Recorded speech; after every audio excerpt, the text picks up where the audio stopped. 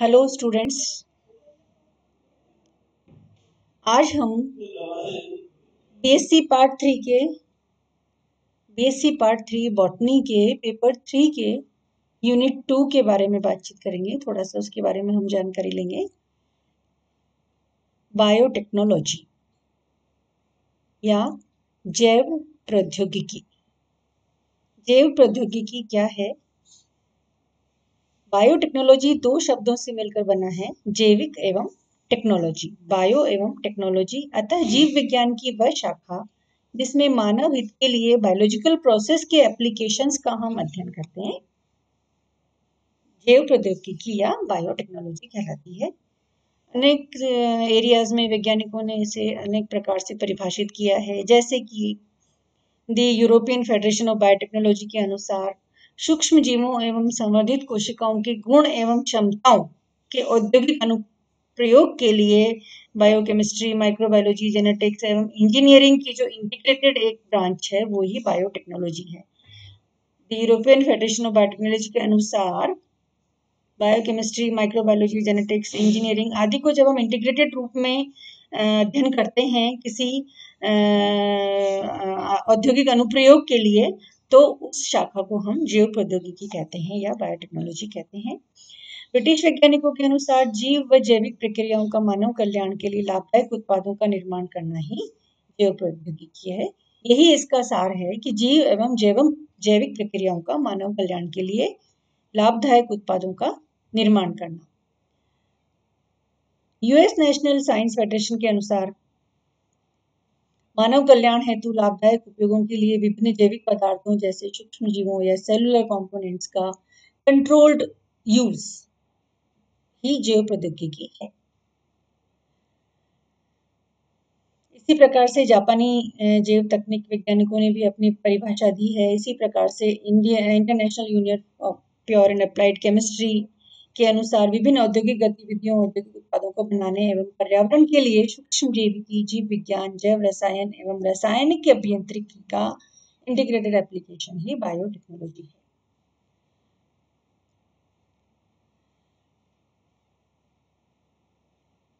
इस प्रकार जैव प्रौद्योगिकी एक मल्टी डिसिप्लिनरी विज्ञान है, जिसमें ऊतक संवर्धन, यानी tissue culture molecular biology genetic engineering microbiology एवं इम्यूनोलॉजी आदि शामिल है। अब हम देखेंगे जैव प्रौद्योगिकी का इतिहास। हिस्ट्री ऑफ़ बायोटेक्नोलॉजी किस प्रकार से बायोटेक्नोलॉजी का इस्तेमाल हमारे सूक्ष्म जीवों का उपयोग करके या औद्योगिकी में इसका उपयोग करके किस प्रकार से मानव जीवन के लिए इसको लाभकारी बनाया गया। सूक्ष्म जीवों द्वारा फर्मेंटेशन से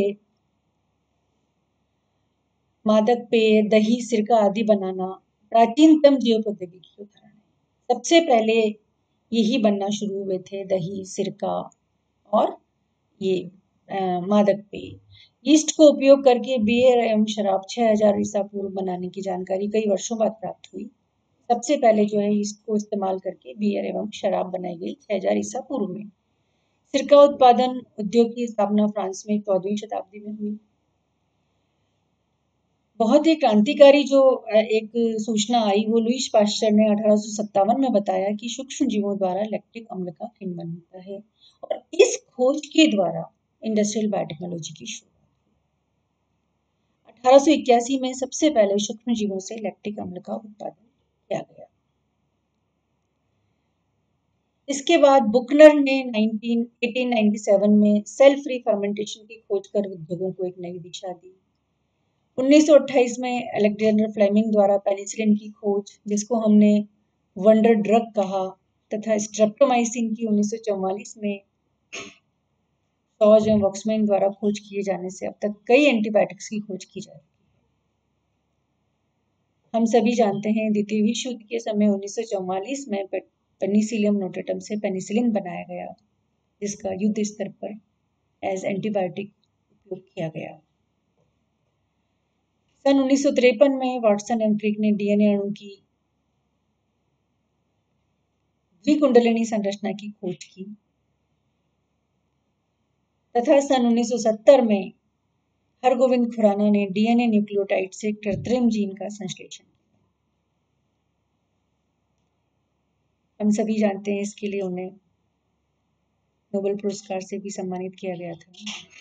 कुछ वर्षों बाद 1970 में स्मिथ एवं सहयोगियों ने रेस्ट्रिक्शन एंजाइम की खोज की, जिसका मोलिकुलर बायोलॉजी में अनुप्रयोग किया गया। जिस प्रकार से पेनिसिलिन की खोज एक बहुत बड़ा एक माइलस्टोन साबित हुआ था, उसी प्रकार से रेस्ट्रिक्शन एंजाइम की खोज भी एक बहुत बड़ा माइलस्टोन जो है वो साबित हुआ बायोटेक्नोलॉजी के क्षेत्र इसके बाद में बायोटेक्नोलॉजी पे बहुत सारे प्रयोग संभव हो सके रेस्ट्रिक्शन एंजाइम की खोज के बाद में।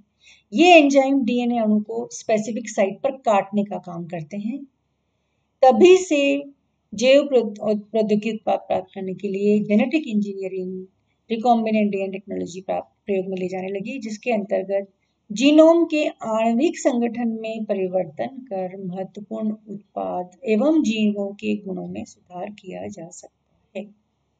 ये एक बहुत ही क्रांतिकारी जो है वो खोज थी रेस्ट्रिक्शन एंजाइम की जिसकी वजह से हमें जेनेटिक इंजीनियरिंग में डीएनए रिकॉम्बिनेंट डीएनए टेक्नोलॉजी का हमने आ, की खोज हुई जिसके अंतर्गत जीनोम को ही हम बदल देते हैं और उससे हम हमारे लिए महत्वपूर्ण उत्पाद एवं जीवों के गुणों में ही सुधार किया। करने में हम सफल हो पाए हैं। ये जैव प्रौद्योगिकी के इतिहास को अब हमने एक टेबल में संकलित किया है। सबसे पहले शराब एवं बियर उत्पादन हेतु इसका प्रयोग हुआ। उसके बाद फर्मेंटेड ब्रेड और पनीर का उत्पादन हुआ, इथेनॉल का उत्पादन हुआ। फ्रांस में सिरका का उत्पादन चौदहवीं शताब्दी में हमने बताया। अठारह सत्तावन में लुइस पास्टर ने लैक्टिक एसिड किन्वन के बारे में बताया। इसके अलावा 1928 में अलेक्जेंडर फ्रेमिंग ने पेनिसिलिन की खोज की और 1944 तक हमने पेनिसिलिन का व्रत स्तर पर उत्पादन एवं स्ट्रेप्टोमाइसिन की भी खोज हो चुकी जो कि दूसरी बहुत ही इंपॉर्टेंट है एंटीबायोटिक है। 1970 में रेस्ट्रिक्शन एंडोन्यूक्लियस की खोज हुई। उन्नीस सौ इकहत्तर में राइजोबियम से क्लैप्सियला में निफ जीन का स्थानांतरण हुआ और उसके बाद में हम ट्रांसजेनिक प्लांट बनाने में कामयाब हो पाए। उन्नीस सौ बहत्तर में खुराना एटॉल ने संपूर्ण ट्रांसफ़र आरएनए जीन का संश्लेषण किया लेबोरेटरी में। 1973 में सर्वप्रथम सफल जीन अभियांत्रिकी, जेनेटिक इंजीनियरिंग का प्रयोग हुआ। इसी प्रकार से मोनोक्लोनल एंटीबॉडी का उत्पादन हेतु हाइड्रोमा की तकनीक की खोज हुई। उन्नीस सौ छिहत्तर में पुनर्योग प्रौद्योगिकी प्रक्रिया का वर्णन किया गया तथा डीएनए सीक्वेंस ज्ञात करने की विधि दी गई। इक्यासी में डीएनए संश्लेषक का उत्पादन हुआ। उन्नीस में पुनर्योग रिकॉम्बिनेंट डीएनए टेक्नोलॉजी पर आधारित प्रथम जंतु वैक्सीन बनाई गई। ये भी एक माइलस्टोन डेवलपमेंट हुआ। यही प्लाज्मिड की सहायता से पौधों में रूपांतरण किया गया। और उपयोगी पौधे डिज़ीज़ रेजिस्टेंट पौधे, अधिक अधिक उत्पादन प्राप्त करने के लिए पौधों में रूपांतरण किया गया टीआई प्लाज्मिड की सहायता से। पीसीआर, पॉलीमराइज चेन रिएक्शन, सूक्ष्म जीवों द्वारा बड़े स्तर पर औद्योगिक रसायनों का उत्पादन शुरू हुआ उन्नीस में। इसी प्रकार से एक और क्रांतिकारी खोज हुई उन्नीस में, मानव भ्रूण से स्टेम सेल्स का ये चिकित्सा के क्षेत्र में भी एक बहुत बहुत ही क्रांतिकारी खोज हुई है। 2004 में ह्यूमन जीनोम प्रोजेक्ट लगभग संपूर्ण हो चुका अब हम देखेंगे कि भारत में बायोटेक्नोलॉजी का क्या है, हमने इसको कितना अपनाया है और किस प्रकार से हमने इसको पॉपुलर करने में प्रयास किए हैं सरकार ने। भारत का जैव प्रौद्योगिकी विभाग डिपार्टमेंट ऑफ़ बायोटेक्नोलॉजी विज्ञान एवं तकनीकी मंत्रालय द्वारा फरवरी उन्नीस सौ छियासी में स्थापित किया गया था।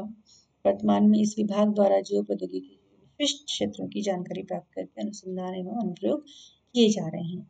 आई टेक चंडीगढ़ में जैव रासायनिक अभियांत्रिकी अनुसंधान के विकास के लिए राष्ट्रीय स्तर पर सुविधा प्रदान की गई है। नई दिल्ली में सी एस आई आर है। डीबीटी द्वारा उच्च स्तर के शोध कार्यों हेतु मोलिकुलर बायोलॉजी केंद्रों की स्थापना की गई, जैसे तमिलनाडु में, नई दिल्ली में, हैदराबाद, कोलकाता कोयम्बटूर लखनऊ में। जहाँ पर इनमें बहुत सारे फ़सल सुधार के कार्य किए जा रहे हैं। इसी प्रकार से डीबीटी ने वृक्षों के सूक्ष्म प्रवर्धन के लिए, सूक्ष्म प्रवर्धन माइक्रो प्रोपगेशन के लिए आरंभिक सुविधा निम्न संस्थानों को दी गई है। टाटा ऊर्जा अनुसंधान संस्थान National Chemical Laboratory Pune J N U JNU university Jodhpur.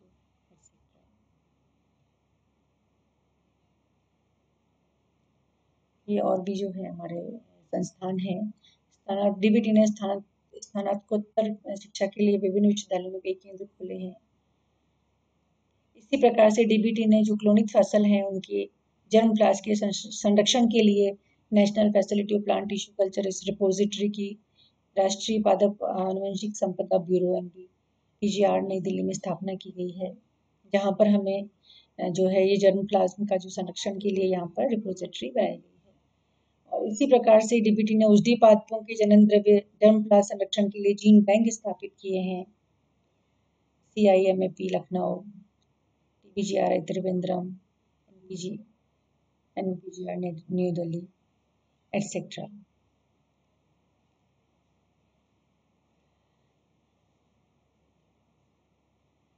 अब हम देखते हैं कि जैव प्रौद्योगिकी का महत्व क्या है। इंपॉर्टेंस ऑफ़ बायोटेक्नोलॉजी क्यों इतना इसके लिए हमने इतना इन्वेस्टमेंट किया? क्यों हमने इसके लिए इतनी रिसर्च की? जैव प्रौद्योगिकी मानव जीवन के लिए अत्यंत महत्वपूर्ण है। इस तकनीक द्वारा कई महत्वपूर्ण औद्योगिक उत्पाद, जैसे अल्कोहल इंजाइम ग्लाइकोल आदि बनाए जाते हैं, जिनकी लागत अपेक्षाकृत कम होती है। इनके वृद्धि स्तर पर उत्पादन के लिए इमोबिलाइजेशन की विधि प्रयुक्त होती है। ये सब बायोटेक्नोलॉजी की वजह से ही संभव हो सका है। यह तकनीक कृषि के लिए भी महत्वपूर्ण है। निफ जीन स्थानांतरण द्वारा पादपों में नाइट्रोजन स्थिरीकरण की क्षमता उत्पन्न की जाती है। पादपों की प्रतिरोध क्षमता बनाई जा, बढ़ाई जा सकती है, जैसे कि कीट प्रतिरोधन, वायरस कवच जीवाणु खरपतवार प्रतिरोधन क्षमता का विकास किया जाता है। अमीनो अम्ल एवं प्रोटीन का उत्पादन कर फ़सल की गुणवत्ता को बढ़ाया जा सकता है। पशुओं में उत्तम जीन निवेशन द्वारा मिल्क प्रोडक्शन एवं उनकी ग्रोथ रेट बढ़ाई जा सकती है। कई चिकित्सीय उत्पाद जैसे कि pharmaceutical compounds, interferon, monoclonal antibody monoclonal antibody vaccine hormones इत्यादि का उत्पादन किया जाता है। ये सब ये सब जो आता है ये सेकेंडरी मेटाबोलाइट्स के उसमें आता है। डीएनए फिंगरप्रिंटिंग द्वारा अवैध संतान के माता पिता एवं अपराधियों की खोज की जा सकती है।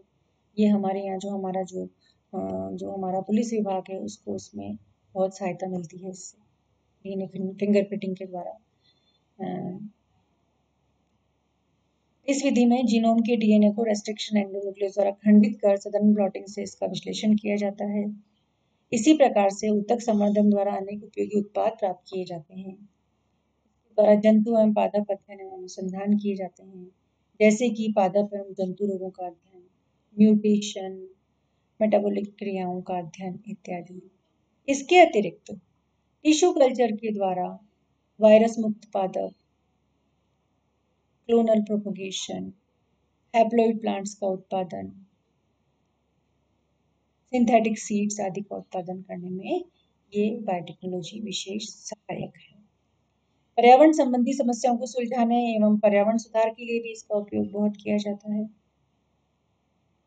जीन अभियांत्रिकी द्वारा कई आनुवंशिक रोगों को दूर किया जा सकता है, जिसे जीन थेरेपी कहते हैं। ये भी एक चिकित्सा के विज्ञान में बहुत ही क्रांतिकारी खोज है।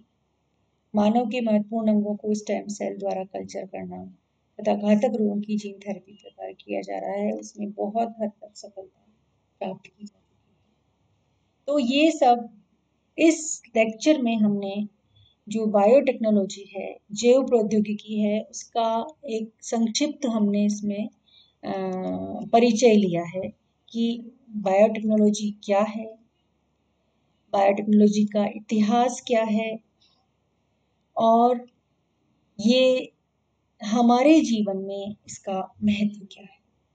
मैं उम्मीद करती हूँ इस पार्ट थ्री बॉटनी के स्टूडेंट्स को ये लेक्चर है, ये बायोटेक्नोलॉजी का परिचय समझने में मदद करेगा।